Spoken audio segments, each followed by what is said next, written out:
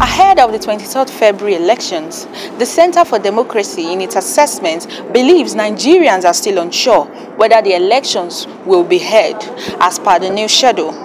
According to them, there are reports of missing and misplaced sensitive materials being distributed to states. The Center for Democracy Development in its pre-election analysis has again reiterated the elections could be marred by violence in some parts of Nigeria. The states CDD lists include Zamfara, Akwa Ibom, Kogi and others. Our observers also report cases of intimidation as well as political violence in some states. For example, we received reports of politically related violence at Qua'an Pan, local government area of Plateau State, involving both APC and PDP supporters. Thuggery is also a problem in Kogi State, particularly we note in Kogi Central and Kogi East divisions.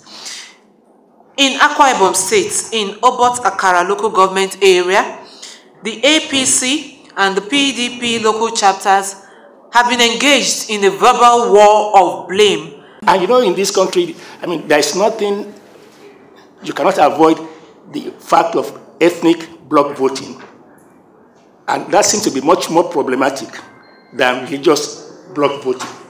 Although there are insinuations also now that you may also have a incident of, of religious bloc voting in some parts of the country in terms of reaction to statements by political leaders and uh, by government and so on and so forth. Observers feel as polls draw near, the political atmosphere in Nigeria is becoming tense with reported cases of political violence and intimidation.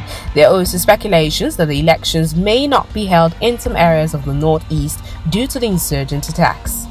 CDD in its recommendations advised INEC to promptly address payment of ad hoc staff and corps members, just as it wants the police to refrain from redeploying their personnel few days to the elections, while it called on the military to stay clear of the electoral process. The military have no basis to be a part of the elections.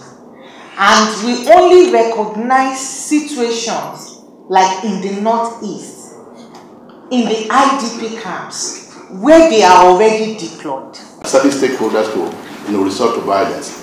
And one, in, one thing in particular which I think we should uh, be look at is, first of all, if you uh, look at uh, the content of the adverts that politicians bring to your studio or your newsroom, you know, examine it critically whether it is going to serve the interests of the country.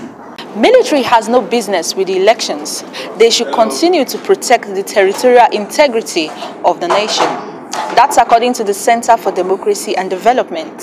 In Abuja, Oluwatobi Enito reporting for Roots TV, Nigeria.